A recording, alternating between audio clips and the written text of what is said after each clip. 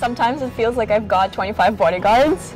Um, other times you walk into a room and the guys just suddenly go silent because they're talking about whatever guys talk about. And so it's like, okay, I'm here now. Let's switch the conversation to flying.